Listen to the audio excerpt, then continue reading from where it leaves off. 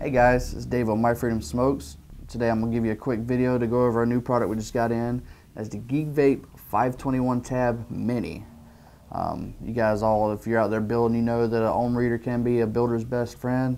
This Geek Vape 521 Tab is a really nice little uh, build station um, that checks your resistance and also will fire, dry fire your coils for you. So when you go to shape them up with your ceramic tweezers, uh, you actually have the build station that will actually fire it for you.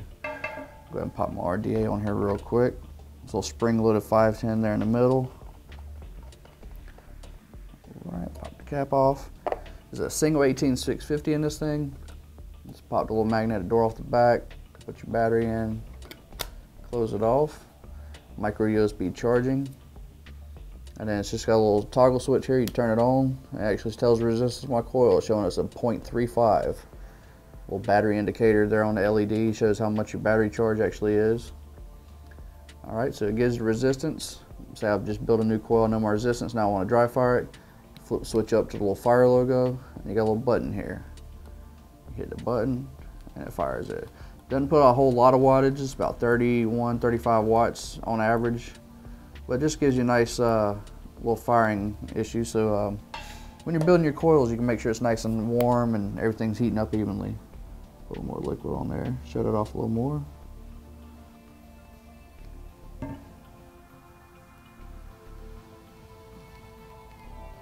And then once you had your coil set up, you can always flip back and check your ohms, and you're good to go. Like I said, we're gonna keep it a little short and sweet. This is the 521 tab mini. Um, slightly smaller than the original one. This one's 83 millimeters across by 61 millimeters and then 24 millimeter height. Yeah, these uh, this 521 tab mini is nice and small compared to some of the other um, ohm readers. Also have that fire option. These things, you throw it right in your gear bag or your build kit, whatever you have that you carry all your tools and stuff in. This thing would be nice and small and easy to fit in there.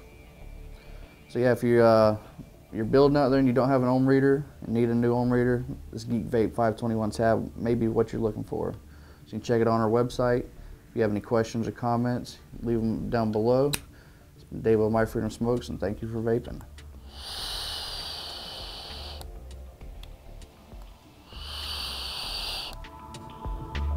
Makes for a nice little mini mod.